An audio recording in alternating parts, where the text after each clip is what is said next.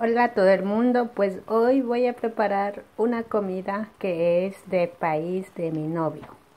Esta comida pues eh, lo primero que tienes que hacer es poner a cocer un poco el arroz, ¿no? Y luego esta hierba se llama hinojo, que aquí ya lo tengo listo picado. Entonces esto lo que tienes que hacer es añadirla, ¿no? El hinojo. Y vas mezclando todo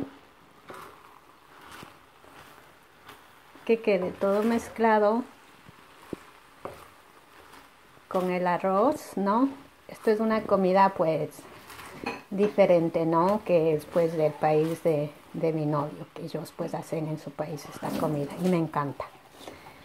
Y lo siguiente que tienes que añadir son las habas tiernas que tengo aquí, las habas de la huerta, ¿no? Ay, esto va a estar delicioso. Muy delicioso. Y también mezclarla bien.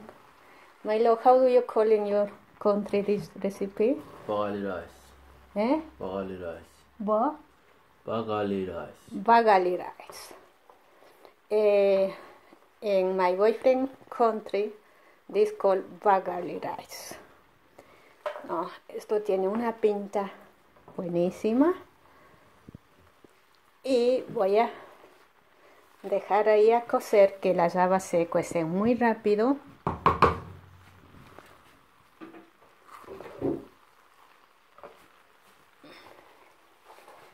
Pues de vez en cuando pues tengo que hacer pues una comida tradicional del país de mi novio no mire y y eso voy a, vamos a comer acompañado.